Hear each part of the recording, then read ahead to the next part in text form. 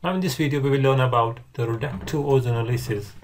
Alkenes, when you react with the ozone, so what we get there, we get an addition product there, which is an ozonide. The double bond completely breaks, the carbon-carbon double bond breaks, and you know what you get? You get an ozonide, one oxygen, oxygen over here, and the two oxygen atoms are like this.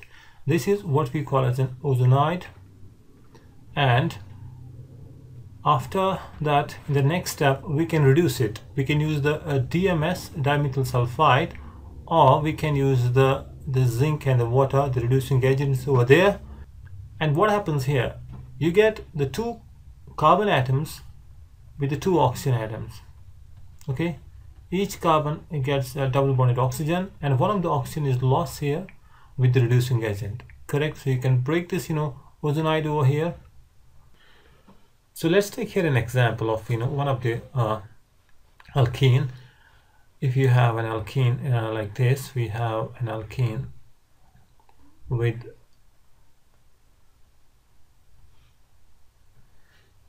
this is our alkene and if you react with the ozone and you do the reduction there right the DMS let's say the uh, you use the DMS so what you will get how you will find the product just break the double bond over here right? Break this double bond and put the two oxygen atoms over there right?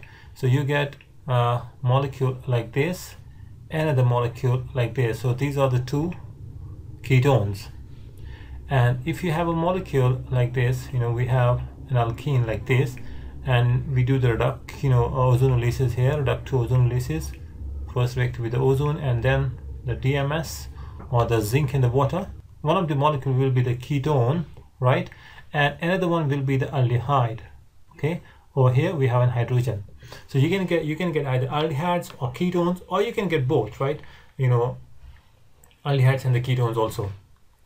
So now let's you know look at the mechanism how we can get you know these uh, products here and what are the steps in the reductive ozonolysis ozone we know if i draw the electron dot structure of the ozone it is like this oxygen oxygen double bond you have two lone pair electrons and here we have a one electron pair and here you have three electron pairs with the formal positive charge here and the negative charge here. Why? Because it is actually a coordinate bond over here right?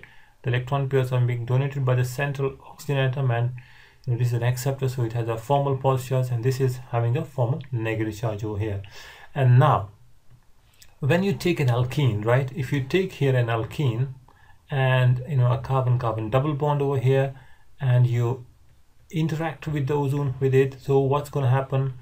Alkenes you know with this negative charge electron pair one of electron pair it can donate and form a bond with this particular carbon and therefore this electron pair in the middle it will form a bond with this oxygen atom and this is gonna shift to this side here. So what you will get? You get carbon you know carbon carbon single bond now okay we have a carbon carbon single bond and now it has it is bonded with the oxygen and then you initially it had a double bond now it is a single bond and you have here a one single bond with oxygen and a one bond with here. Now look at the electrons follow the electrons over here. The, the pi bond over here forms a bond with this oxygen atom all right? And we can see the electrons on this particular oxygen atom they are over here. They form a bond with this one.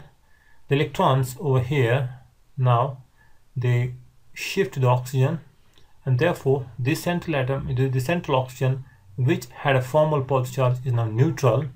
This oxygen atom over here it has two electron pairs also there right? They're there.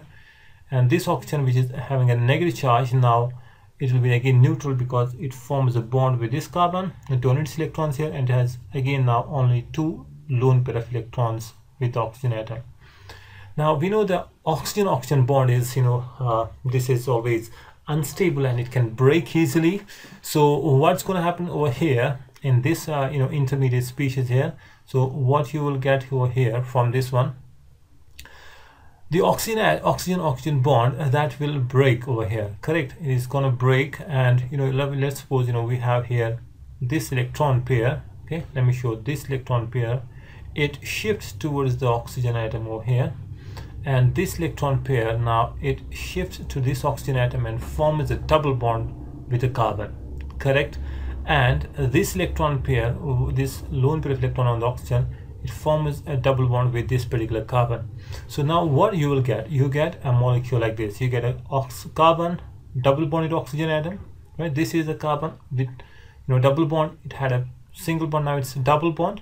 And this particular carbon atom over here it is double bonded with the oxygen now right? It has a double bond. And this oxygen atom over here has a, has a, a single bond over here. And look at the electrons right? Follow the electrons over here. It is the this electron pair which is now here so that forms the double bond. The electron pair is here. This electron pair that's there on the uh, you know, between the two oxygen atoms will be with the oxygen so it will have three electrons available now. It will have three electrons okay? So it will have a one formal negative charge. And this oxygen atom which donates electrons you know to, to this particular carbon and now it has a one electron pair and a one formal positive charge right? This is the intermediate that you will get. Now, we know this particular oxygen atom, this particular oxygen atom, which is uh, having a negative charge, it can attack on this molecule, right? It can attack on this molecule. But, you know, to understand it completely, let me draw the whole structure again, right? Let me draw this whole structure again over here. I can rearrange this, this uh, structure over here to get a clear idea. You know, what happens in this process? We have a carbon double bonded with oxygen over here and we have here you know an oxygen atom over here a double bonded carbon with the two groups here. One formal positive charge and over here we have one formal negative charge. Now this carbonyl group here which is actually the polar right? This is polar delta positive charge and this has a delta negative charge because oxygen is you know uh, more electronegative atom so it will pull the electrons from the oxygen. So therefore you know this carbon has a formal positive charge okay? And therefore the electrons on this one is going to shift on this one and it forms a double bond you know a single bond with the carbon okay? And this electron pair it will form a bond with this carbon. Here the electrons they will shift to this side okay? So let's draw the structure of the that you get. Now now after the flow of these electrons so what will be the structure? Okay the structure is carbon double bonded you know a double bonded carbon is now a single bond right? So it is bonded with another carbon atom over here okay it's bonded with another carbon atom which is now having a single bond right? And this oxygen atom has now two lone pair electrons and this oxygen you know is bonded with this particular carbon over here right? So again let's follow the electrons over here. The electrons here these are now over here all right? And the electrons over here they are now present on this oxygen atom over here and you have here a sing you know two single bonds. The central oxygen atom you know over here it has two lone pair of electrons and this oxygen which is negatively charged again it has now only two lone pair of electrons so this is what you call an ozonide right? This is an ozonide now in the reduction process you know in the in the reduction process what happens there in the reduction process when you take react with a DMSO right a DMS dimethyl sulfide. The dimethyl sulfide DMS the sulfur atom you know with the electron pairs there over there it forms a bond with this oxygen atom. And over here what happens here? Here the electrons between these two oxygen atoms they will shift to this side and this electron pair over here is going to shift to this side and this bond it will go with the oxygen atom. So the DMS actually will be converted into DMSO and you get here the carbonyl group over here with now two substitutions and a double bonded oxygen right? And an electron pair here. This carbon atom again with two substitutions around and now it's bonded with this oxygen atom with a, through a double bond right again a double bond. So now these are the two compounds that you get when we do uh, you know uh, the reductive ozonolysis first you know react with ozone. If you look at the mechanism again when you react the alkene with ozone so you get this ozonide right? Okay this is the ozonide and from the ozonide what you get? You get these two carbonyl containing compounds. So let's practice a little more few questions over here. We have a molecule like this we have a molecule a CH3 CH double bond.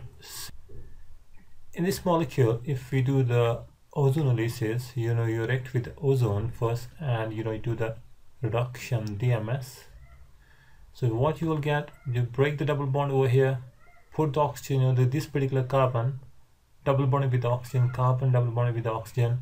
And now this carbon has two groups. One is hydrogen the other one is methyl so one is hydrogen and the other one is methyl. So this is an aldehyde. And over here if you look at this particular carbon right this particular carbon it's bonded with the two methyl groups right okay CH3 and the CH3 and you can double bond an oxygen there